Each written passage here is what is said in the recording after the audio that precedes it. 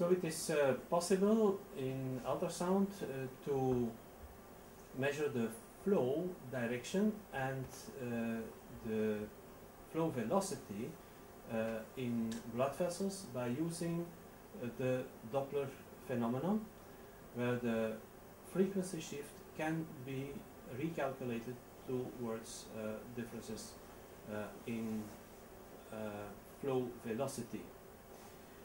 Um, this can be done by in two ways, or we can do a duplex Doppler, and then we apply the Doppler phenomenon on a blood vessel. Here you see the portal vein.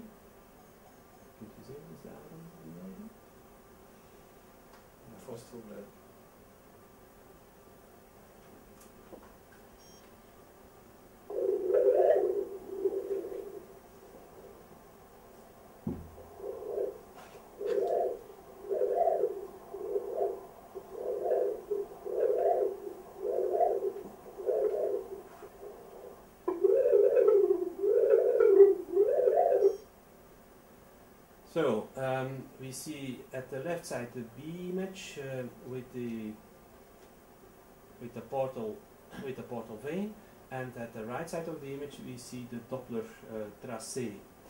Um, it is also it is now possible to uh, calculate uh, the velocity and uh, the flow volume.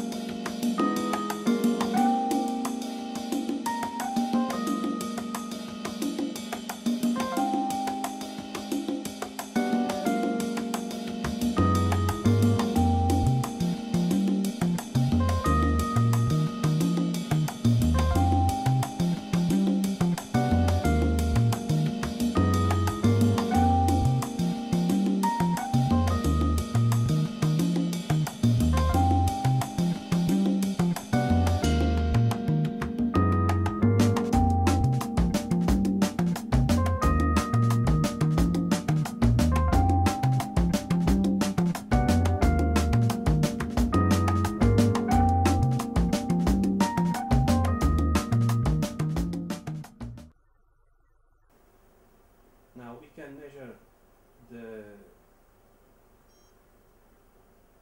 flow volume.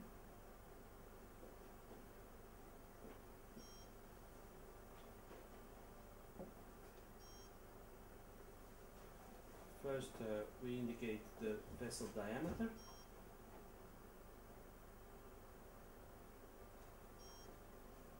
At the level of the sample volume and then